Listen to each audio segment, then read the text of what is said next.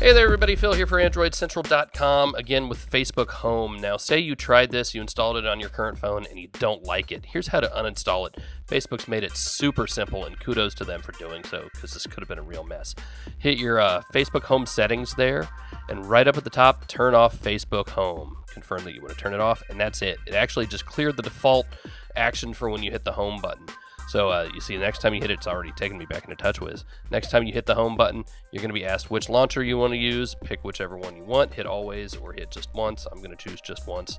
And that's it. You're back to normal. Facebook Home is technically no longer working. It's actually still on the phone though, so I'm going to walk you through how to uninstall it. This is on a Galaxy S3, one of the supported devices, and there are a couple ways to do it. Uh, and this first one is particular to the GS3. So you hit your menu button and then choose uninstall, and then you can just tap on the Facebook Home app, and Home will be uninstalled. Right? Very simple. Nice of uh, Samsung to do that. Now here's the way most people are going to do it. You're going to need to go into your settings. The easiest way for me to do it is pull down the notification shade like this, and there's always a settings button there. Uh, look for a gear, right? And now you want to go to, nope, back up, back up. Application Manager. On some phones, it'll say Apps.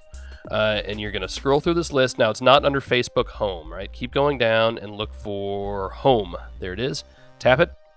Now you can choose uninstall, and this is how you'll do it on most phones to absolutely get Facebook Home off of your phone. See ya.